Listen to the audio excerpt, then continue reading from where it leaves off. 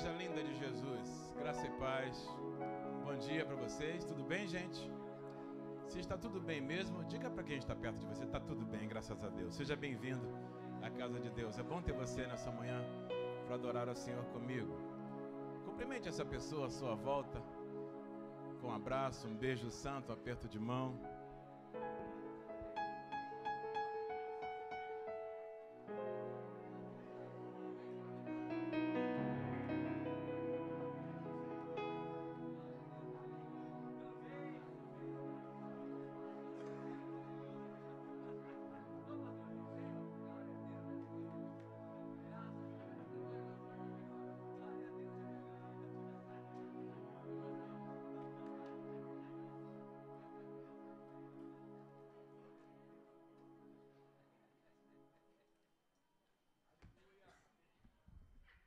Deus é bom, minha gente. Deus é muito bom. Vamos à palavra? Lucas capítulo 2, Evangelho de Jesus, escrito pelo irmão Lucas, capítulo 2. Nós vamos ler primeiramente esse texto, depois vamos ler também no livro do Apocalipse. Mas vamos começar com o Evangelho de Lucas, capítulo 2. Versos 1 a 7. Enquanto você localiza o texto na sua Bíblia ou no seu aparelho eletrônico, enquanto os nossos irmãos queridos, nossos irmãos amados da técnica vão projetar o texto para aqueles que porventura não tiverem acesso ao texto sagrado em mãos. Lucas capítulo 2, versos 1 a 7. Enquanto você localiza, repita comigo: o imperador e o rei dos reis. Mais uma vez, o imperador e o rei dos reis. E aconteceu naqueles dias que saiu um decreto da parte de César Augusto, o imperador, para que todo mundo se alistasse. Este primeiro alistamento foi feito sendo Sirênio governador da Síria. E todos iam alistar-se, cada um à sua própria cidade. E subiu da Galiléia também José, da cidade de Nazaré, a Judéia, a cidade de Davi, chamada Belém, porque era da casa e família de Davi, a fim de alistar-se com Maria, sua mulher, que estava grávida. E aconteceu que, estando eles ali, se cumpriram os dias em que ela havia de dar à luz, e deu à luz o seu filho primogênito, e envolveu-o em panos, e deitou-o numa manjedoura, porque não havia lugar para eles na estalagem. Apocalipse capítulo 19, último livro da Bíblia.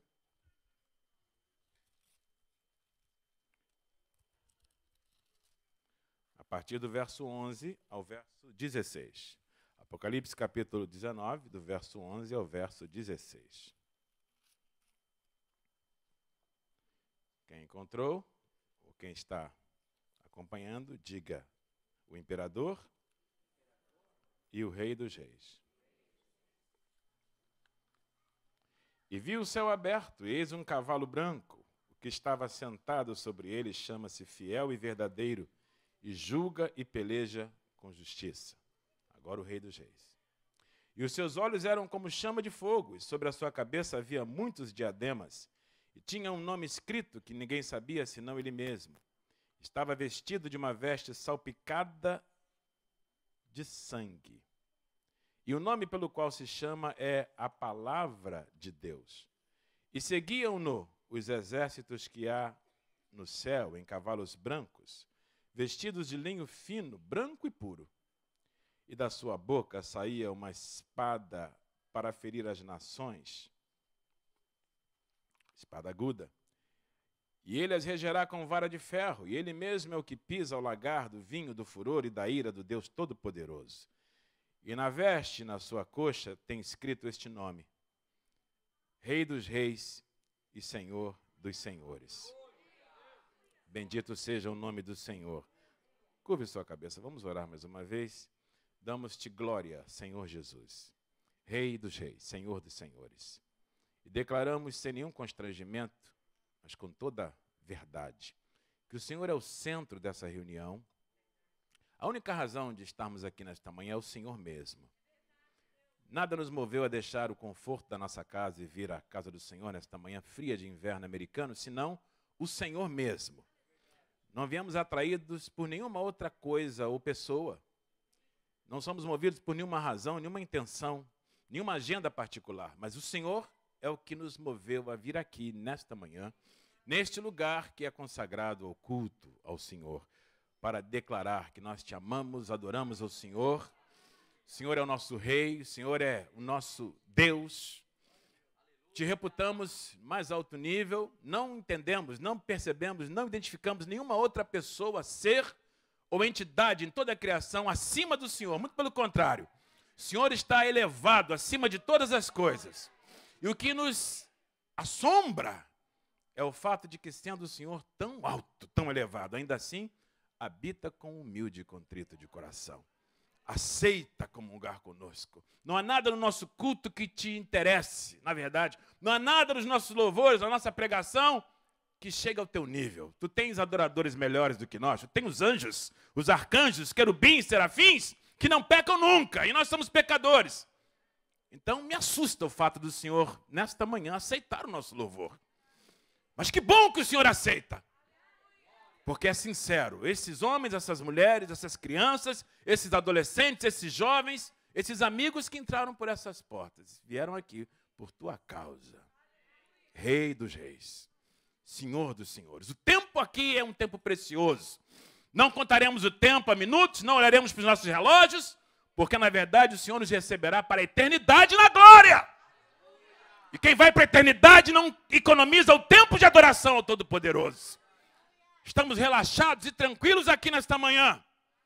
Enquanto os homens aplaudem os homens, morrem e matam pelos homens. Nós estamos aqui pelo Rei dos Reis, pelo Senhor dos Senhores, Jesus de Nazaré, aquele que morreu no Calvário e ressuscitou ao terceiro dia, está vivo, assentado à destra do Pai, de onde virá em breve glorificado para nos levar para Ele mesmo. Oh, que maravilha! Oh, que esperança fantástica! Atravessa a nossa alma nessa manhã. Que bom estar aqui com os santos, com os irmãos e irmãs que foram igualmente capturados pelo teu amor no Calvário. Muito obrigado, Senhor. Agora que as minhas ideias, as minhas intenções, meus pensamentos, as elucubrações da minha alma não sabotem o livre fluxo da tua palavra. O Senhor não precisa de mim, como não precisa de nenhum pregador para que a tua palavra seja pregada. Então não me deixe atrapalhar o fluir dela, Senhor. A palavra já é em si mesma ungida, ela é como um martelo que esmiuça a penha, que não volta para o Senhor vazia, senão depois de cumprir todos os teus propósitos. Ela é viva e eficaz, mais penetrante que espada alguma de dois gumes, que penetra a divisão de alma espírito, juntas e medulas, e é apta para discernir pensamentos e intenções do coração. Então a tua palavra não precisa de mim nesta manhã. Mas se o Senhor aprover, usa esse vaso de barro, de modo que a tua palavra seja comunicada com graça e com poder. Que no final de tudo, apenas o teu nome, nada mais, seja glorificado em nome de Jesus. E os que amam o Rei dos Reis, digam amém. Voltando a Lucas capítulo 2, depois retornaremos a Apocalipse, mas eu quero voltar com os senhores ao Evangelho de Lucas capítulo 2, texto inicial da nossa leitura nesta manhã, porque este texto apresenta um momento que nos é extremamente caro, momento do nascimento do Salvador. Nós estamos hoje aqui, de certa forma, conectados com irmãos e irmãs pelo mundo afora que estão celebrando também, nesta época do ano, o Natal do Salvador. Alguns de uma maneira, outros de outra. Culturas absorveram o tema do Natal e deram a esta temática a seu própria, sua própria versão. E nós, como cristãos que somos, não podemos de forma alguma nos excusar de celebrar o Salvador. Quem quiser se entregar a polêmicas desnecessárias a mover com relação à data original do nascimento de Jesus e etc e tal, eu respeito, mas eu entendo que isso é absolutamente pueril. Porque embora historicamente, embora culturalmente seja mesmo delicado associar o nascimento de Jesus a esta época do inverno frio em Israel. Lembra-se, os pastores estavam no campo, apacentando os rebanhos. Isso não acontece no inverno. Então, talvez a primavera seria, ou outono, uma época mais apropriada para o nascimento, mas eu não me não, não escorrego para esse tipo de debate inútil, porque, independentemente da época certa, do dia certo em que o Senhor nasceu, o que conta mesmo é o dia e a hora em que ele nasceu na sua vida e na minha. Você se lembra? Quando foi que o Salvador nasceu no seu coração? Essa é a data importante. Essa é a data fundamental. Fora dela, a data original, seja ela qual for, não é motivo para, ao meu ver, debates desnecessários. Mas, nessa manhã, meus queridos irmãos, minhas queridas irmãs, eu gostaria de estabelecer aqui, em volta do tema do nascimento do Senhor, em volta da manjedoura onde ele foi colocado, naquele modesto estábulo onde ele foi acomodado quando nasceu, eu quero, torno desse tema belíssimo do Natal, trabalhar aqui algumas contradições, alguns contrastes. Primeiramente, Maria e José são compelidos a saírem da sua cidade de moradia, Nazaré, ao norte de Israel, na Galiléia, onde José morava com Maria e trabalhava também como carpinteiro, são compelidos a saírem de lá e a fazerem uma viagem relativamente longa para aqueles dias. Viajaram do norte de Israel para a Judéia da Galiléia para a Judéia, de Nazaré para Belém. E por que fizeram isto? Uma vez que Maria estava às portas de dar à luz o seu filho, nosso Senhor. Uma viagem de aproximadamente 150, 160 quilômetros, 100 milhas aproximadamente, que levaria hoje de automóvel aproximadamente duas horas, ou algo assim. Eu já visitei Israel algumas vezes e me lembro que numa delas eu viajei sozinho para um retiro espiritual, aluguei um automóvel em Tel Aviv e eu praticamente cortei Israel de norte ao sul de automóvel e eu, eu conheço bem essa distância entre a Judéia e a Galiléia, porque já fiz essa distância de automóvel. Mas no automóvel com ar-condicionado, com todo o conforto. Nos dias de Maria e José, essa viagem de aproximadamente 150 quilômetros ou 100 milhas, teria sido feita no sol causticante de Israel, no lombo de um animal, provavelmente um jumento, com uma mulher grávida às portas de dar à luz no dorso do animal, por uma estrada de chão de terra, por vezes esburacada, acidentada. Então, você pode imaginar que essa viagem só teria que ser feita mesmo se uma força superior a ordenasse. Aliás, há duas forças aqui compelindo essa viagem. Por que é que Maria e José teriam que sair de Nazaré para que o menino nascesse lá embaixo em Belém? Duas horas de viagem de automóvel hoje, 150 quilômetros de distância do ponto A ao ponto B. Há duas forças provocando essa viagem desconfortável. Há dois decretos aqui. Primeiramente, é um decreto divino. Você conhece as Escrituras e sabe que no livro do profeta Miqueias, no capítulo 5, versículo 2, já havia sido profetizado muitos anos atrás que Belém Efrata, conquanto fosse uma das menores cidades de Israel, não deveria se sentir diminuída. Muito pelo contrário, porque dela, Belém, sairia aquele que guiaria Israel, o Messias dos judeus, Jesus, Salvador da humanidade. Então, Belém era a cidade do nascimento do Senhor por decreto divino, comunicado através do profeta Miqueias. Esta era a força divina provocando o movimento de Maria e José no dorso de um jumento, numa viagem acidentada, longa e desconfortável, para que o menino não nascesse onde moravam em Nazaré, mas na Judéia, em Belém. A outra força compelindo essa viagem era um decreto humano. Há dois decretos aqui: o divino, Miqueias 5:2, mas há também um decreto humano.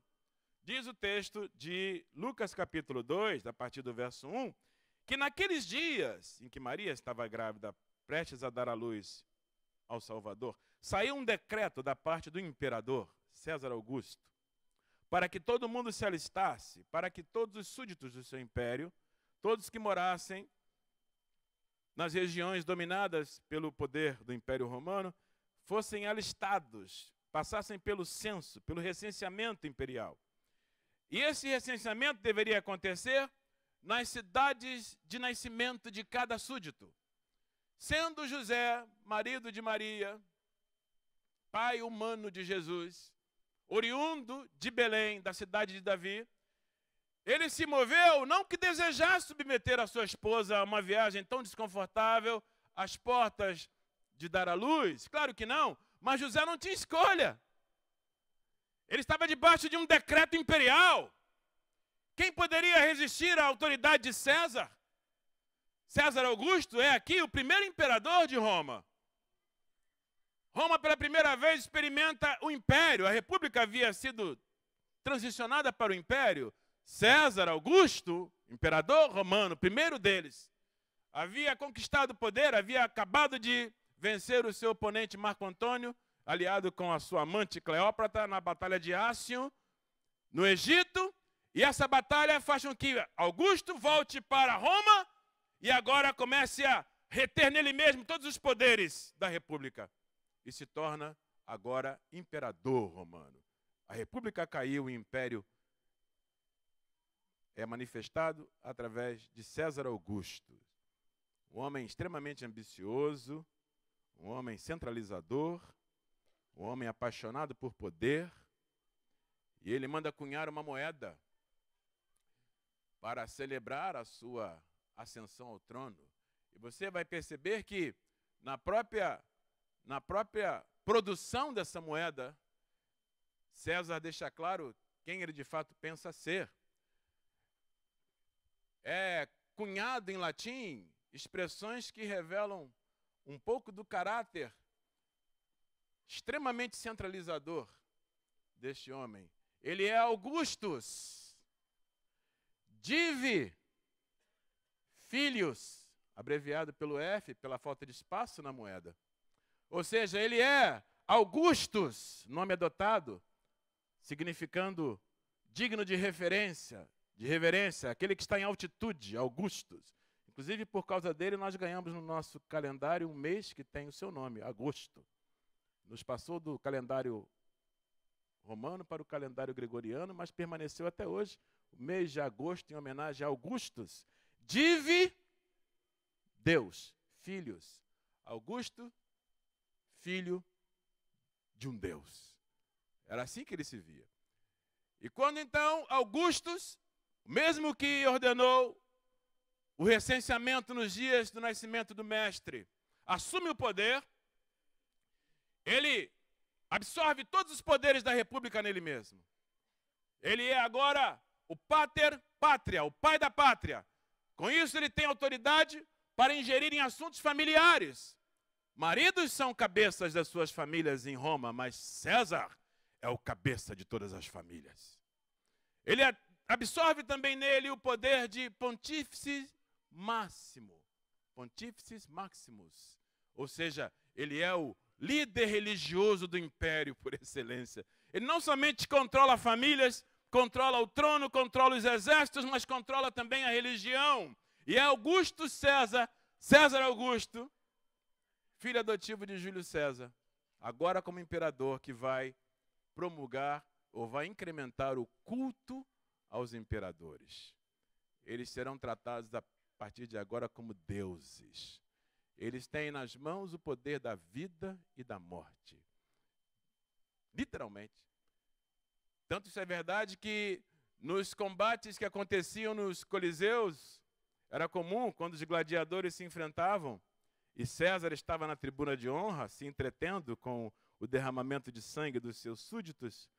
Era comum quando um combatente derrubava o seu oponente e lhe punha a espada na garganta ou no peito, Era comum que ele, antes de executar de uma vez o seu oponente, olhasse para a tribuna, esperasse o aceno das mãos de César. Ele não poderia matar o seu oponente sem que César, Augustus Divi Filhos, filho de um Deus, levantasse a mão, dizendo: Este deve viver, ou abaixasse a mão, dizendo: Este deve morrer. A menos que César abaixasse a mão, o combatente vencedor não poderia matar o seu oponente, porque se assim o fizesse, estaria desafiando o poder daquele que se sentia dono de todas as vidas no domínio do seu império. Vive ou morre. E é esse homem que decreta o recenseamento nas províncias romanas, incluindo a Judéia e a Galiléia. Por isso, quando José coloca a sua noiva grávida no dorso de um animal e a faz viajar por 150 quilômetros numa estrada emburacada, acidentada, um calor desconfortável, sabendo dos riscos que essa viagem implicaria para ela, José faz isso porque não tem escolha. Não somente Deus já havia decretado que o menino deveria nascer em Belém. E agora César decreta que cada um seja recenseado na sua cidade de nascimento. Então você já percebeu que há forças competindo poder aqui no nascimento de Jesus. César deve pensar que o recenseamento acontece por causa da sua decisão imperial. Na verdade, quando ele decide isso, está apenas acomodando a sua vontade a um decreto divino revelado pelo profeta em Miqueias capítulo 5, verso 2. A Bíblia diz que o coração dos reis está nas mãos do Senhor. E ele os inclina ao seu desejo. Sabe onde está a sua vida nessa manhã? Está nas mãos não dos imperadores, dos políticos, dos médicos, dos governantes, está nas mãos do Rei dos Reis. Se ele levantar a mão amanhã, você acorda para trabalhar como de costume. Se ele abaixar a mão, você não levanta da cama amanhã de manhã. Se ele levantar a mão, o contrato é assinado. Se ele não levantar, o contrato não sai. Se ele levantar a mão, o médico me dá um, um diagnóstico positivo. Se ele não levantar, eu tenho apenas poucos dias de vida. Se ele levantar a mão, eu saio e escapo do acidente mortal. Se ele não levantar, Um infarto leva a minha vida durante a noite, eu nem sei, nem percebo. Viro notícia no dia seguinte.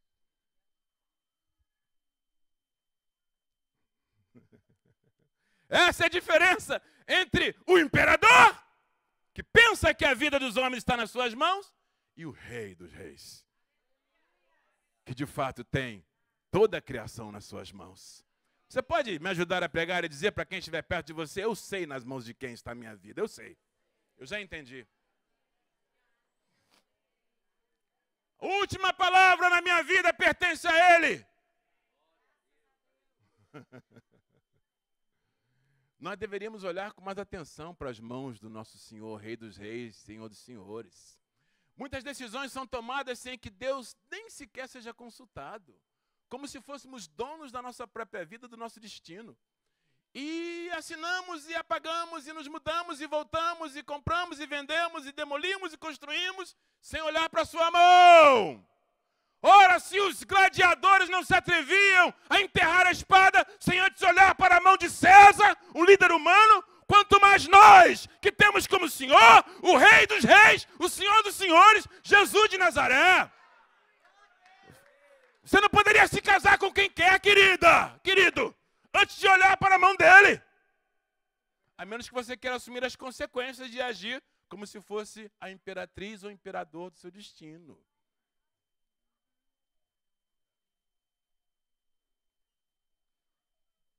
Bendito seja Deus. Eu sei que isso não parece com uma mensagem de Natal. Desculpe. Mas eu preciso exaltar aquele que é o centro do Natal. Ele é a pessoa principal nessa manhã. Amém, meus queridos? Porque na hora em que o negócio pega, na hora em que a coisa complica, na hora em que não há mais saída, Na hora em que o médico diz 60 dias de vida, nós voltamos imediatamente para as mãos dele, verdade ou não? E pedimos misericórdia. Como Ezequias pediu 15 anos, Senhor. E o Senhor disse: 15 anos. Bendito seja o nome do Senhor. Graças a Deus. Eu entendi que não orar, estou falando aqui de mim particularmente, por favor. Eu entendi que quando eu não oro, quando eu não busco a Deus, quando eu não separo tempo no meu dia para me curvar diante do Todo-Poderoso em oração, eu estou cometendo um ato de rebelião, de arrogância. Não, olhar é não orar é arrogância. É entender que eu posso acordar e viver o dia como se não tivesse um Deus no trono, nas mãos de quem a minha vida está. Eu estava pensando isso outro dia, estava em casa e me veio esse pensamento. Não orar é arrogância. Orar é muito mais do que um mero ato devocional, hábito dos crentes, dos religiosos. Orar é reconhecer a soberania de Deus na sua vida. Não começar um dia sem olhar para a mão dele. Quem pode dizer graças a Deus? Diga para o seu vizinho, por favor, não orar é um ato de arrogância. É me sentir autossuficiente, achar que eu sou o cara, que eu não preciso de Deus. Eu resolvo as coisas do meu próprio jeito. Eu posso até continuar seguindo a vida assim, até que um, um revólver seja apontado no meu rosto para um bandido. Nessa hora eu vou orar até em línguas, mesmo sem ser batizado com o Espírito Santo. Verdade ou não, minha gente? Não é, Marcão? É assim. Eu que já estive com um revólver apontado na minha face mais de uma vez, eu sei o que significa isso. Então há poderes se enfrentando ao redor da manjedoura e do estábulo: poder imperial e poder divino.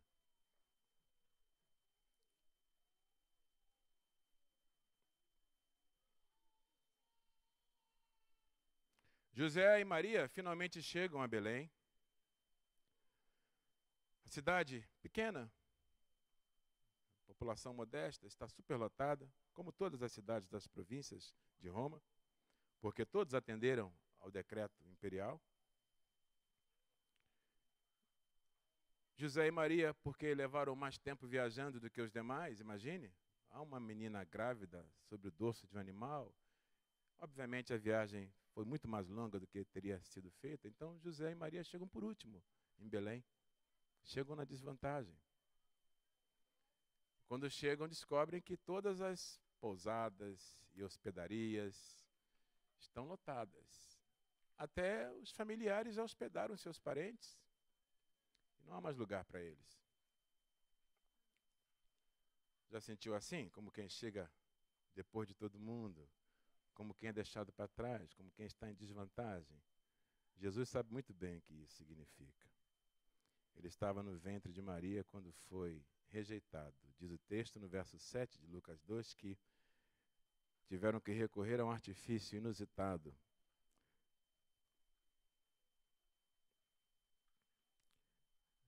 Maria deu à luz seu filho primogênito, envolveu em panos e deitou-o numa manjedoura, porque não havia lugar para eles na estalagem.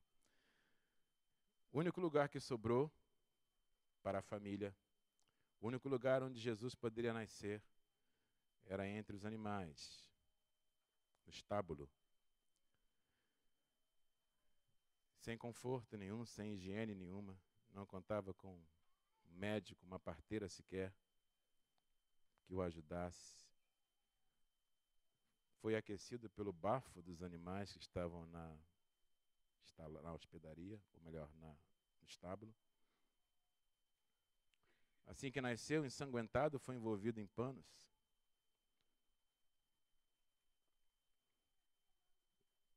Como não tinha berço, seus pais o colocaram sobre uma manjedoura, lugar onde os animais comiam palha. E ali o menino, enrolado em panos manchados de sangue, aquecido pela baforada dos animais, nasceu. César, o imperador, aquele que se dizia filho de um Deus, estava no seu trono confortavelmente assentado em Roma, a milhares de quilômetros de distância. Jesus, deitado numa manjedoura, entre os animais, enrolado em panos, sujo de sangue. Se você olhar atentamente, vai perceber que os poderes estão se enfrentando aqui. Há um poder novo chegando para ficar. 14 anos depois, César vai morrer. E vai passar o trono para um outro imperador, Tibério. Jesus está nascendo para nunca mais morrer. Seu reino nunca mais terá fim. Ele é o novo poder que se estabelece no mundo.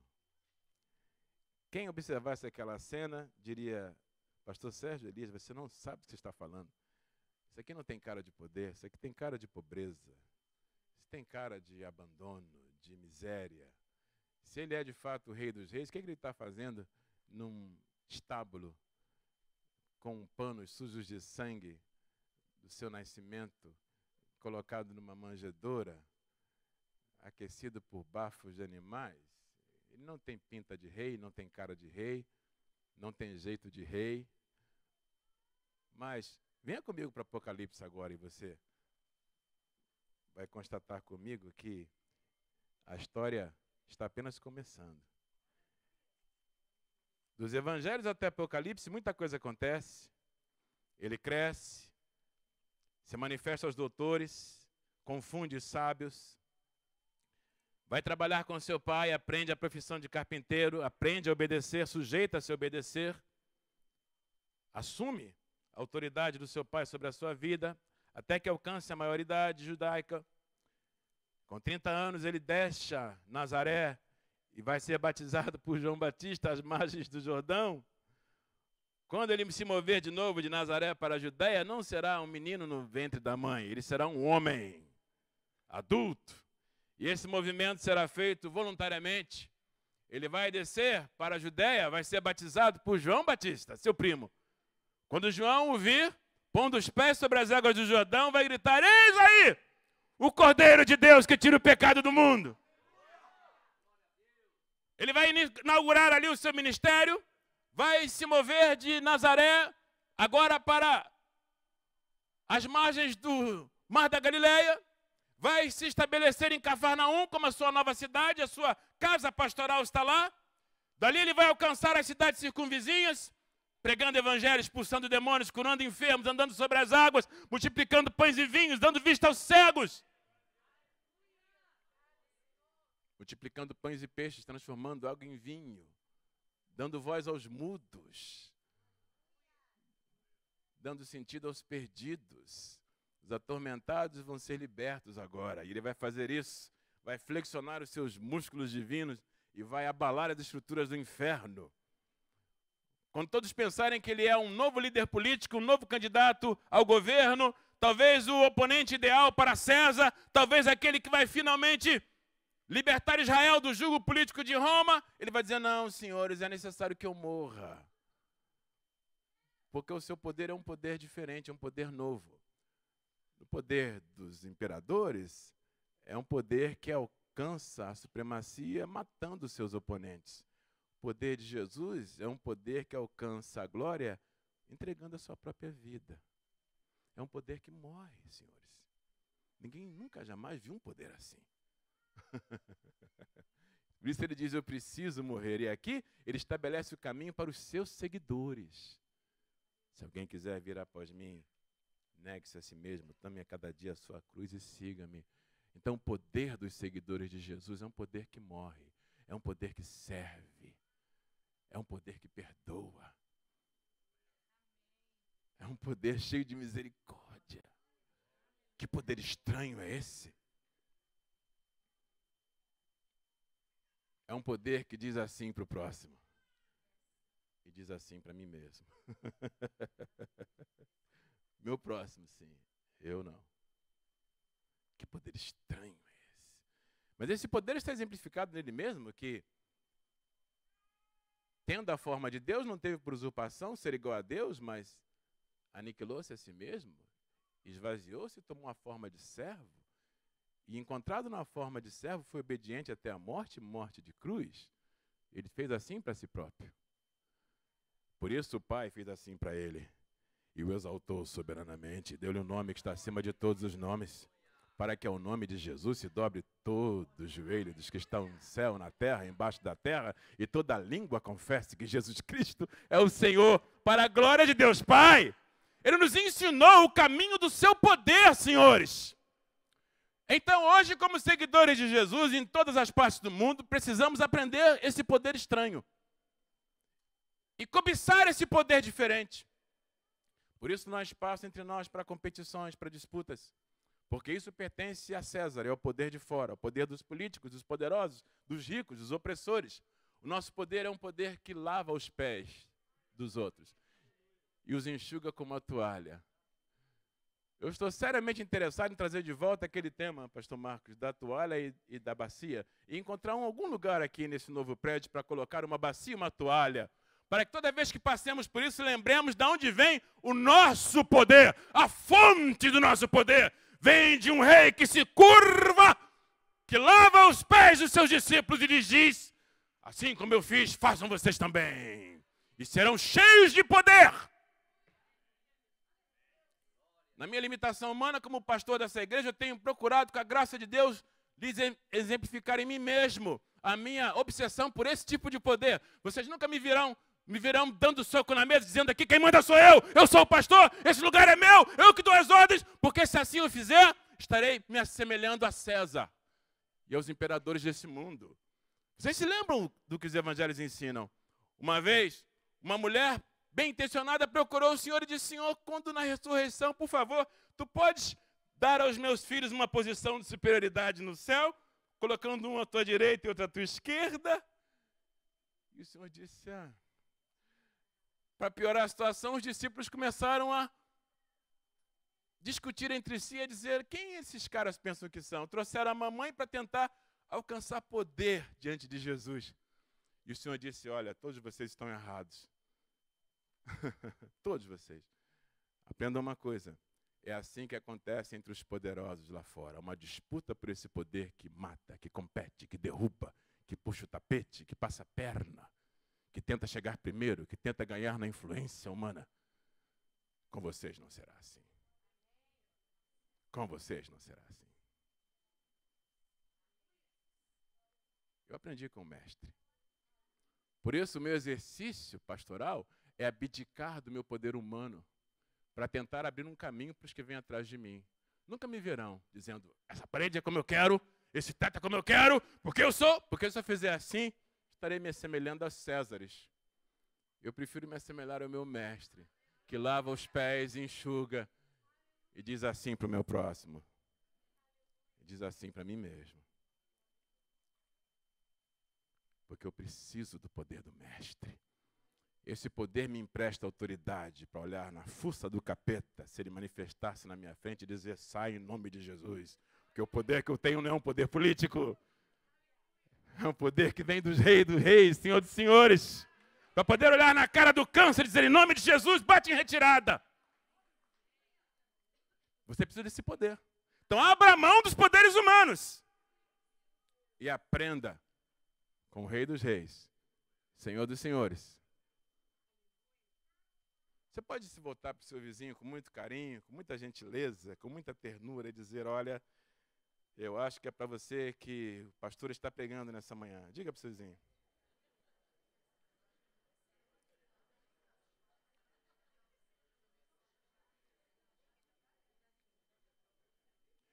Para começar, o pastor está pregando para ele mesmo, em primeiro lugar. Mas para todos aqueles que ambicionam o poder verdadeiro de Jesus, poder que nasce numa trebaria e é colocado sob uma manjedoura. Mas veja o que vai acontecer com esse poder. Apocalipse capítulo 19.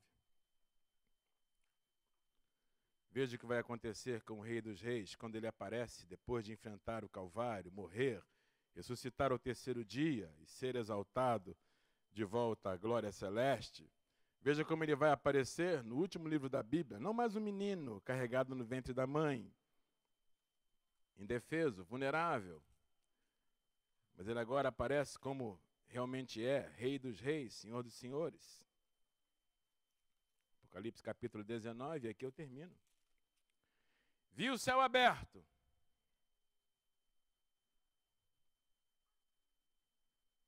Quando ele estava para nascer, as portas das, das hospedarias, das estalagens dos hotéis da época estavam fechadas, e agora o céu está aberto. Olha, eu quero profetizar sobre a sua vida em nome de Jesus. Ainda que as portas estejam hoje fechadas para você, vai chegar um momento que os céus vão se abrir. Mas não perca de vista as mãos dele. É ele quem abre as portas para você. Percebe a contradição? Quando ele nasceu, as portas estavam fechadas. Agora ele aparece em Apocalipse e o céu está aberto. Eis um cavalo branco. Quando ele nasceu, havia um jumentinho que o transporta no ventre da mãe de Nazaré até Belém. Quando ele volta com os céus abertos, ele vem montado num cavalo branco garboso, bonito, Agora é o Jesus da glória. Por isso, Paulo vai dizer: Eu tenho por certo que as aflições do tempo presente não são em nada para se comparar com a glória que em nós há de ser manifestada. A aflição que você passa hoje, meu irmão, minha irmã, nada mais é do que a plataforma sobre a qual a glória de Deus vai ser manifestada no tempo certo e da maneira certa, pela mão do Rei dos Reis, Senhor dos Senhores. Aguenta firme. Não perca o ânimo, não perca a fé. Porque portas se fecham, mas o céu se abre. Você cavalga um pangaré desdentado e adoecido por um tempo da vida. Eu estou falando isso porque já estive lá, já cavalguei meus pangarés. Vai chegar um tempo que você vem montado num cavalo garboso. Quando cavalgar o pangaré, não perca a fé. Quando cavalgar o puro sangue, não perca a humildade. Esse é o segredo da vida cristã. Alguns de vocês aqui estão com cara de que estão cavalgando pangaré nessa manhã. Não é o Natal que você queria, não é? Esse final de ano está parecendo uma estrada acidentada, cheia de buraco, não é? Aguenta firme. As portas estão fechadas para você em plena boca do inverno? Olha o nosso mestre. As portas se fecharam para ele também. Mas olha agora em Apocalipse como é que o céu se abre. E ele vem montado num cavalo garboso. Então, aguenta firme, vai chegar um momento que você vai cavalgar o seu cavalo puro sangue. em nome de Jesus. Em nome de Jesus. Quando cavalgar o pangaré, não perca a fé. Quando cavalgar o puro sangue, não perca a humildade. Você pode dizer isso para quem estiver à sua direita ou à sua esquerda. Eu não sei o que, que você está cavalgando, se você está cheio da grana, se está tudo dando certo, a Natal próspero, gordo, ou se você está vivendo um Natal de abatimento, de tristeza, de angústia de alma, quem sabe até sem emprego. Aguenta firme. Porque o segredo não é nem o pangaré, nem o puro sangue. O segredo é quem vem montado sobre ele. O segredo não está no pangaré nem no puro sangue. Está naquele que está montado sobre ele. Veja, senhores, que ele cavalga ambos para entender quem está quebrado e quem está por cima da carne seca. Ah, eu sou apaixonado por Jesus de Nazaré, porque ele me entende na minha quebradura. E me mantém em xeque quando as coisas vão exatamente como eu desejo. Que Jesus maravilhoso esse nosso. Meu Deus. Meu Deus, meu Deus, meu Deus. Cuidado, hein? Não vai achar que o negócio é com você, hein? Lembra do jumentinho? Que entrou com Jesus em Jerusalém? Ele gozou de uma honra e de uma glória que não era para ele. As pessoas jogavam ramos de palmeira e colocavam suas vestes no chão. E aquele burrinho poderia pensar: Uau, eu estou por cima da carne seca.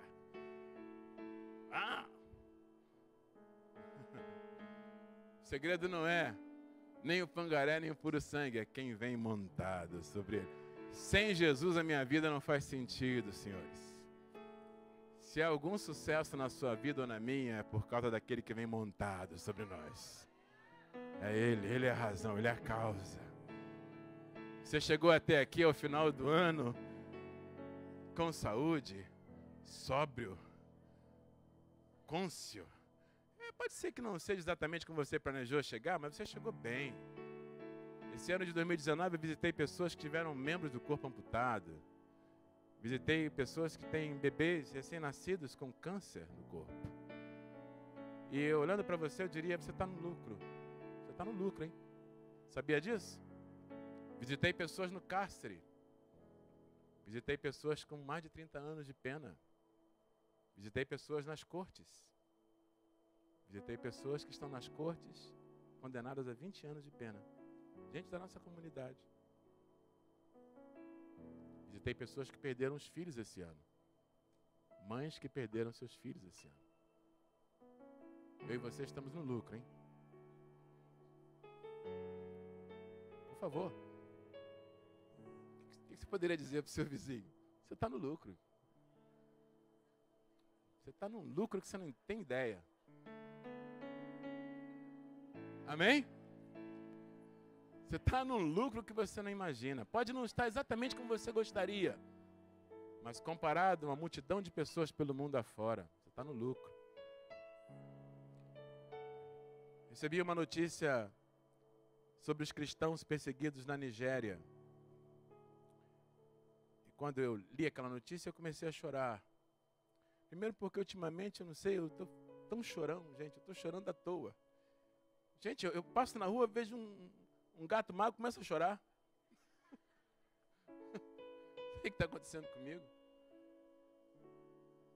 Eu comecei a chorar porque a notícia falava de uma pastora na Nigéria, uma jovem pastora na Nigéria. Falava de uma seita radical, um grupo de extremistas que invadiu o povoado daquela pastora. E quando invadiram o povoado, começaram a estuprar as mulheres, a matar as crianças, a assassinar os homens. Quando chegaram na casa dessa pastora, dessa irmã, uma jovem pastora, mataram seus quatro filhos pequenos. E quando iam matá-la, perceberam que ela estava grávida. E aí começaram a discutir, e agora? O que a gente faz com ela? Bom, poderíamos abrir a sua barriga com uma faca, só para ter o prazer de ver a criança sair pelo seu ventre aberto. E ela ouvindo os radicais discutindo o que iam fazer com ela. Aí um deles disse assim: Não, tem uma ideia melhor. Vamos decepar o braço dela, mas vamos fazer isso aos poucos. E aí começaram com o machado, cortaram seus dedos das, das duas mãos, depois cortaram sua mão, depois cortaram o seu antebraço e o seu braço. E quando o socorro chegou, encontrou aquela jovem pastora, sem os quatro filhos, com o braço decepado pelos inimigos do Evangelho. Mas o que chamou a atenção das pessoas era a candura daquela mulher que, mesmo tendo perdido seu tesouro, seus filhos, tendo perdido seu braço, tendo sido mutilada com tanta violência, ainda dava glória a Deus, sem murmurar, sem reclamar, mas se sentindo de certa forma privilegiada por sofrer por amor ao Evangelho. Nós aqui no Ocidente, meus irmãos, nós não sabemos o que é isso. Nossas brigas aqui, sabe quais são? É briga de internet, quem é o melhor pregador, se crente pode usar tatuagem ou não. Nossas brigas são essas. Entendeu? É verdade. Se você é de esquerda, né, meu irmão, se você é de direita, você é fanático. Nossas brigas de crente são essas. A gente não conhece a espada, o juízo, a morte. Nós estamos a anos-luz dos irmãos no Oriente. E eu, pastor Marcos, já estivemos no Egito. Teremos algumas histórias para contar para você do que está acontecendo no mundo chamado árabe, onde cristãos dão a vida por Jesus com prazer. As nossas briguinhas é o que, que ele falou de mim na internet. Verdade ou não? Meu Deus do céu. Nós estamos no lucro. Tem horas que eu penso que não. Tem horas que eu fico pensando que talvez Deus precisasse mudar um pouco essa nossa esfera de conforto para nos ensinar o caminho da cruz. Porque lucro demais acho que intoxica também, a gente fica mimado. A gente fica alérgico a problema, alérgico à tribulação. E a queda do dólar é capaz de nos roubar o sono. Mas se você tem dólar para perder, você está no lucro. Amém? Você tem dólar para desvalorizar, você está no lucro. Porque no Haiti, onde nós já fomos várias vezes, tá mulheres que dão biscoito de barro com sal para os seus filhos na hora da fome extrema. Mas eu não quero de forma alguma, meus irmãos, usar o microfone para pôr sobre você um peso exagerado, ou de culpa, ou de remorso. Nem que você tenha constrangimento de ter fartura na sua mesa. Por favor, coma à vontade. Celebre com seus familiares, com seus amigos. Tá bom? Não fique constrangido porque Deus tem sido bom para você. Não tenha nenhum constrangimento de cavalgar o seu puro sangue. Só não dê lugar à arrogância, porque nós também conhecemos os dias de Pangaré. Quem sabe do que eu estou falando aqui? Quem já cavalgou Pangaré na vida, diga amém. Todo imigrante que chegou aqui já cavalgou um Pangaré. Ah, já, tenho certeza. Eu cavalguei. Eu lavei banheiro. Eu limpei dejetos de americano para ganhar dinheiro. Ajoelhado, limpando sujeira de americano. Eu sei o que é cavalgar pangaré. Eu vou dizer para você, um dos meus melhores dias na vida foi cavalgando pangaré. Meu Deus, como Deus quebra o nosso orgulho, a nossa vaidade e nos lembra quem de fato somos e quem de fato Ele é. Bendito seja o nome do Senhor. Você que acabou de chegar no país recentemente, não tenha nenhum constrangimento de fazer coisas que você nunca fez. Isso faz parte do seu currículo, da sua história. Você tem que ter história para contar depois. Quando você for cavalgar o seu puro sangue, lembre-se de quem chegou cavalgando pangaré. E vamos anular esse discurso ridículo, não é? Ah, esse pessoal que chegou agora quer chegar. Para com essa bobagem. Quem chegou agora, chegou agora, tem que ser amado como eu e você fomos. E ajudado como nós fomos. Amém? Glória a Deus. Aleluia. Mas olha como ele aparece em Apocalipse. Meu Deus do céu. Montado sobre um cavalo branco. E o que estava sentado sobre ele chama-se fiel e verdadeiro, julga e peleja com justiça. Seus olhos, quando ele nasceu, seus olhinhos de bebê foram limpados com um pano qualquer. Agora os seus olhos são como chama de fogo. Sobre a sua cabeça havia muitos diademas e tinha um nome escrito que ninguém sabia, senão ele mesmo. Estava vestido de uma veste salpicada de sangue. Quando ele nasceu, ele foi enrolado em panos sujos de sangue. E agora em Apocalipse ele aparece com uma veste salpicada de sangue. Não mais o sangue da sua mãe que lhe deu a luz, mas o seu próprio sangue derramado no cavalo. Essa é a sua credencial. Essa é a sua marca de autoridade, o sangue. Nome pelo qual se chama é a palavra de Deus. Por isso, há um temor sobre a minha vida de falar de Deus na presença de Deus. Minhas intenções, meus pensamentos, minhas ideias, minha inteligência, meu conhecimento teológico deve ser curvado ao poder da Sua palavra. Porque o nome dele é a palavra de Deus.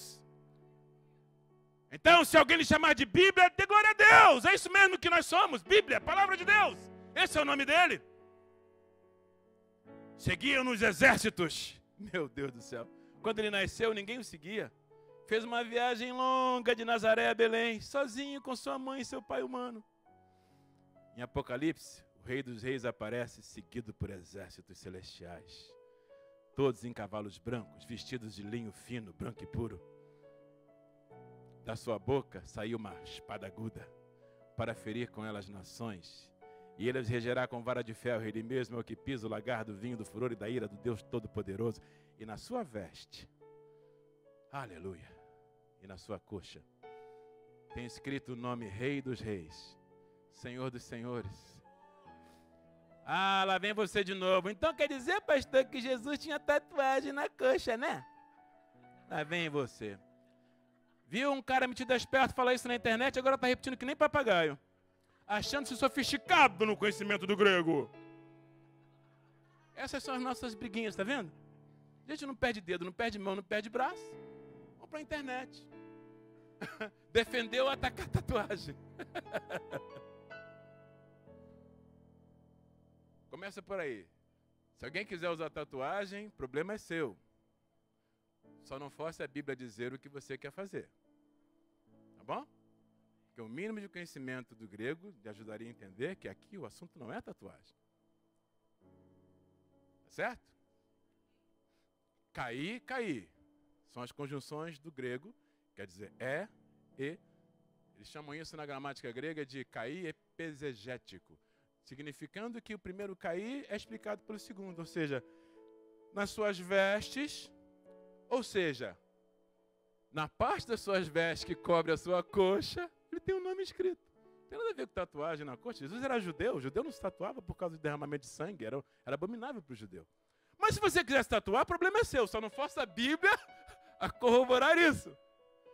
Mas essas são as nossas briguinhas de, de, de internet, gente. O que a gente deixa escapar em nome da tatuagem, sabe o que é? é que o nome dele, isso é que é importante, é Rei dos Reis, Senhor dos Senhores. Seja na coxa, seja no braço, seja na roupa, seja no diadema, é isso que ele é. Rei dos Reis, Senhor dos Senhores.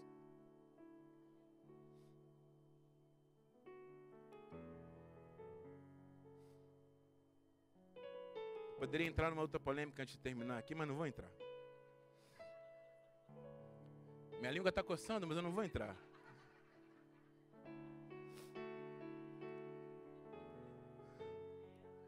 Não vou entrar. Não posso entrar porque o culto é transmitido pela internet, é muita gente ouvindo pelo mundo afora.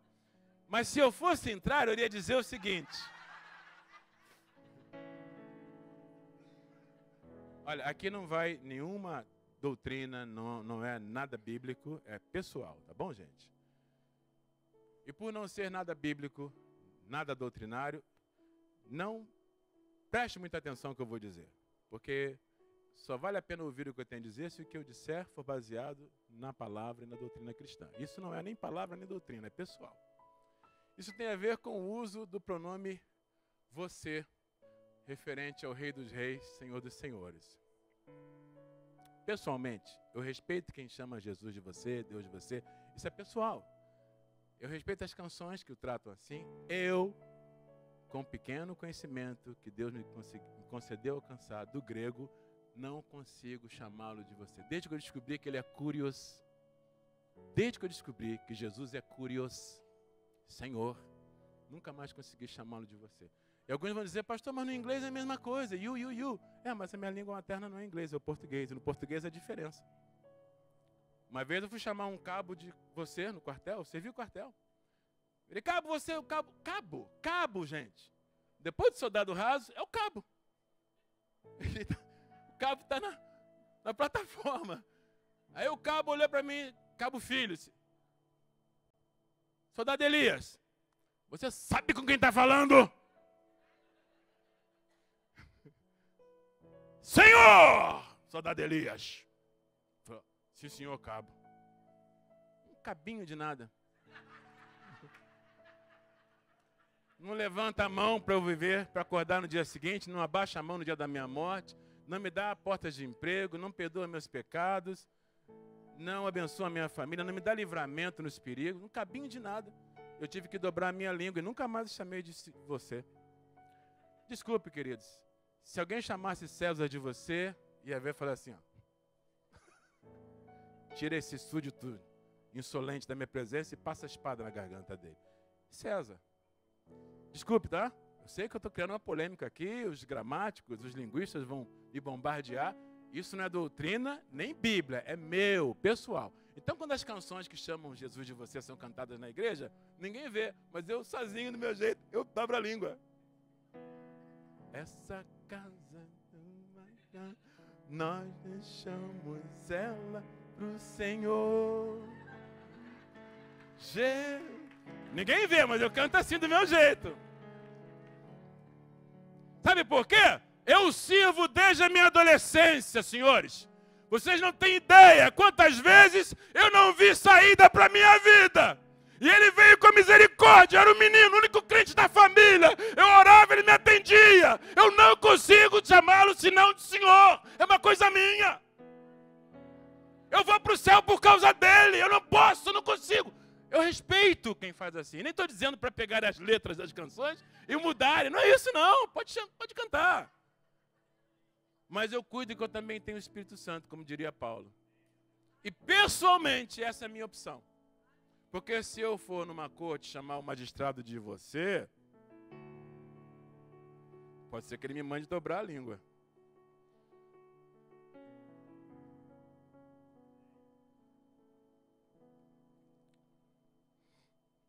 Uma vez eu entrei no Hotel Glória no Rio de Janeiro. É uma longa história. Meu voo foi cancelado, a companhia me deu um voucher para passar uma noite no Rio de Janeiro. E me deram um voucher para passar a noite no Hotel Glória. Um dos hotéis mais chiques do Rio de Janeiro. Quando eu cheguei na porta do hotel, táxi pago pela companhia, falei, meu Deus do céu, que isso? Vou entrar no Hotel Glória? Só que quando nós chegamos na porta do hotel, o táxi não conseguiu estacionar e o taxista disse: Olha, você vai ter que descer aqui andando porque o hotel estava todo tomado de automóveis, de soldados do exército, da aeronáutica, da marinha, polícia militar. A imprensa estava presente. E eu brinquei com o taxista e disse: Poxa, o que está acontecendo aqui? Ah, parece até que o presidente da República está hospedado aqui. Ele disse: É isso mesmo. O presidente Lula está hospedado aqui, veio visitar o Rio de Janeiro. disse: Ah, interessante. E eu entrei, fiz o meu check-in, fui para o meu quarto. Na manhã seguinte, eu desço o elevador para fazer o check-in, desculpa. Desço o elevador para fazer o check-out, para tomar o meu voo, que tinha sido adiado para a manhã seguinte. Quando eu desço o elevador, eu percebo que todo o saguão está vazio. Não tem mais ninguém no saguão. A não ser os funcionários do hotel. E aquela multidão do lado de fora. Eu fosse no futebol, eu diria, eu perdi o tempo da bola, né? Cheguei depois de todo mundo. E eu estou no balcão fazendo o meu check-out, de repente o elevador se abre, saem os militares e um tapete vermelho estendido. Sai o presidente Lula do, do elevador. Aquele saguão vazio. Eu e o presidente Lula no mesmo lugar.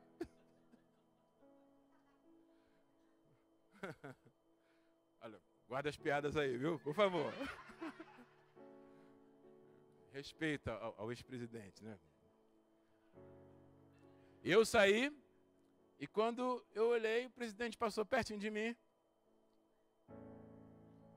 Eu falei, sabe uma coisa, vou cumprimentar o presidente. Eu nunca cumprimentei um presidente assim, de cara a cara. Isso aqui está acontecendo, só eu e ele no saguão e, e a guarda dele. Me aproximei e disse, presidente, como vai o... Presidente, como vai o...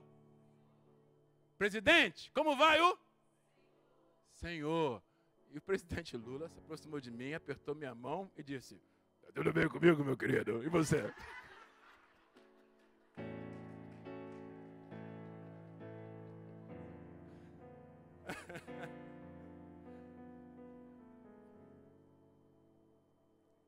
Senhor,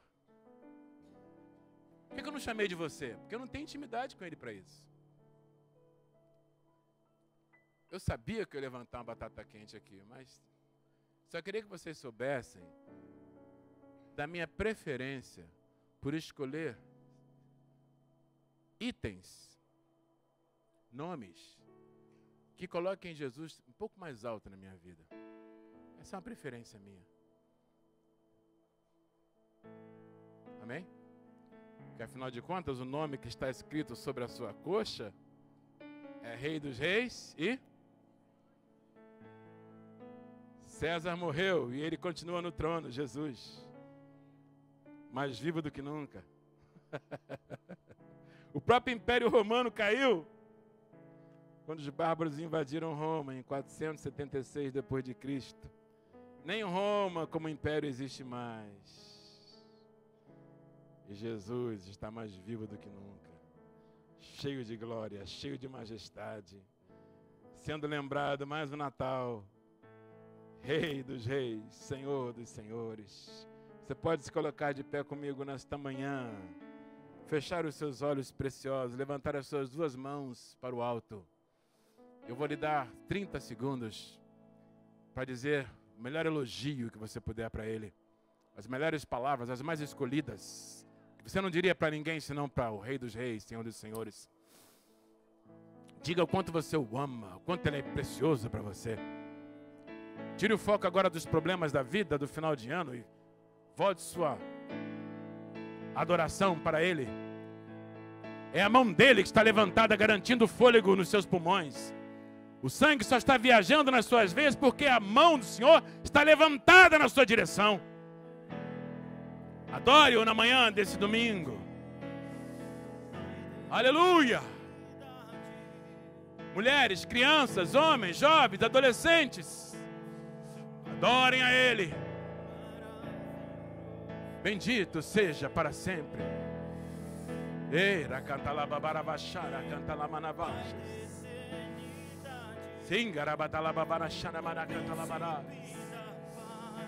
Seu nome é maravilhoso conselheiro, Deus forte, Pai de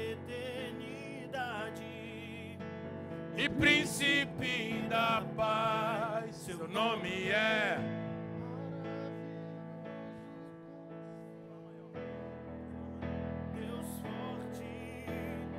Pai da eternidade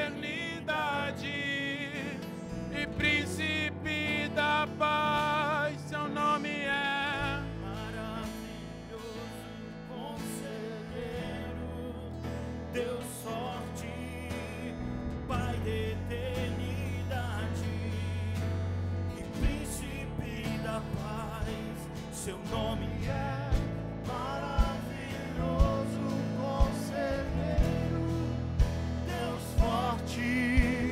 Pai da eternidade e príncipe da paz. Seu nome é maravilhoso conselheiro, Deus forte, Pai da eternidade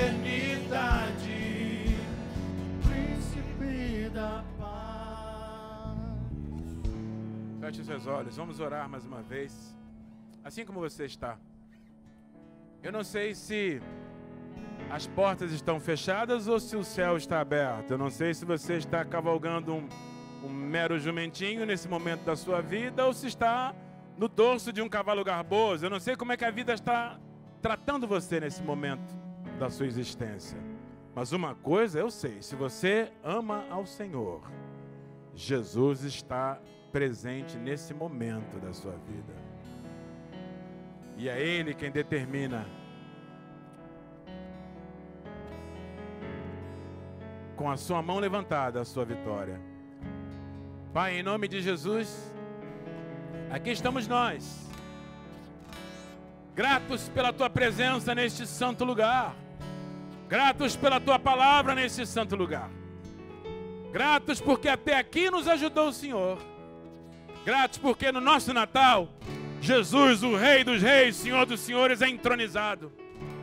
Já aprendemos que o reino de Deus não é comida nem bebida, mas gozo, paz e alegria no Espírito Santo. Já entendemos que estamos no lucro, porque o Senhor está do nosso lado. E nós estamos com o Senhor. Venha o que vier, sejam as cavalgadas acidentadas ou suaves mas importante é que o Senhor está conosco. Graças a Deus, o Senhor está conosco. O Rei dos Reis está conosco. Bendito seja o nome de Jesus.